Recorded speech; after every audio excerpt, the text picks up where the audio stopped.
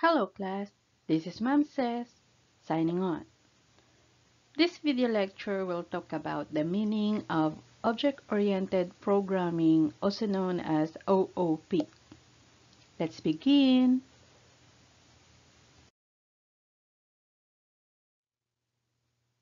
An object-oriented program is a collection of interacting objects each object is capable of sending and receiving messages and processing data.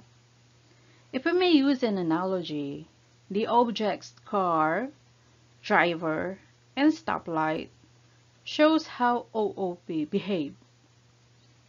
So whenever the driver sees the stoplight signal, he will stop the car brake and it will stop.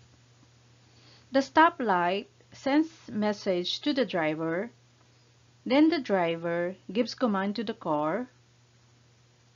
Then the car processes the request of the driver. That makes all this object is capable of sending and receiving messages, which makes it an object-oriented program.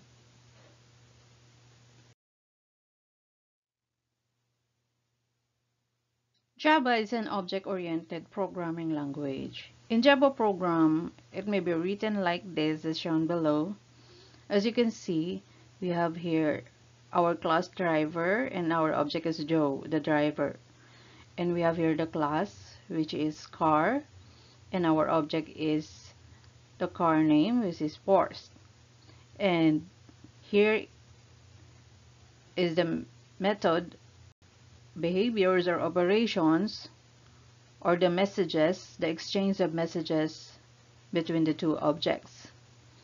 All Java programs use objects and every Java program is defined as a class. A class defines the characteristics of an object. So what are the characteristics? This includes the attributes. So what are the examples of attributes? These are the fields of properties. So example, we have here. Again, our class name here is the car and then our object is the, the car name, which is the my MyPorse. And again, the example of attributes or also known as fields of properties, we have the year, make, model, and so on and so forth. And these are the values of each field. So what are the behaviors or also known as methods, operations?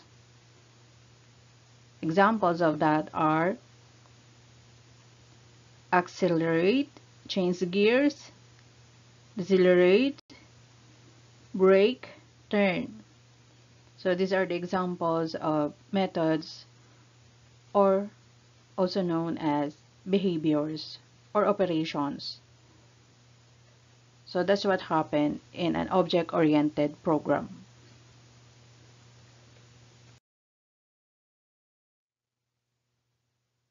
In your previous programming subjects, we talked about object, instantiation, method, and all other related to that. Recall that an object is an instance of a class. Creating an object is also known as instantiation. A method is a behavior of an object. Within the program, a method usually affects only one particular object. So, can you recall what message passing is? Message passing, also known as method calling. It is the process where an object sends data to another object or asks the objects to invoke a method.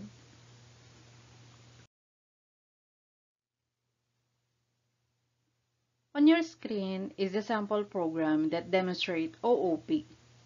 It calls a method from another method, which shows how objects pass message from one another. Observe that in line 10 here, we have the method name greet. And in line 13, we have the method name greet2. As you can see, the method greet2 call the method greet here. Therefore, it passes the message from one another. you know, one method to another method. As a result, in our output here, the message in our greet method appears again in the third line of our output. And that's how objects interact with one another by method calling or message passing.